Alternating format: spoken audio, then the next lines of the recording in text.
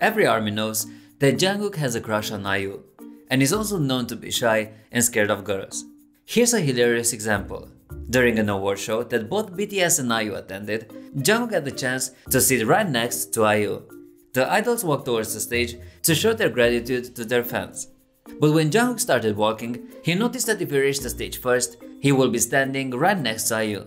So he instantly did a 180 degree turn and he turned around walking behind his hyungs. In the end, Jin was the one sitting next to her. I'm so curious about what IU thinks about this, especially since Jungkook revealed that she's his ideal type multiple times.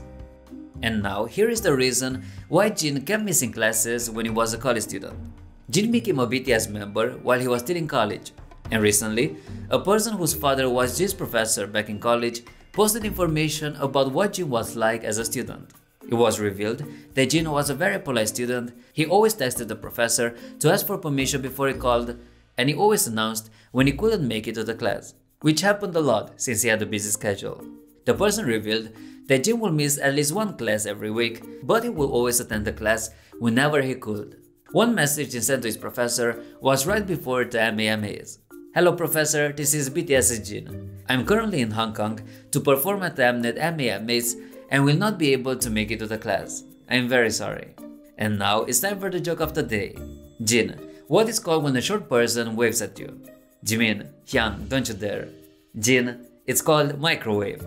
As always, be nice. Be like BTS.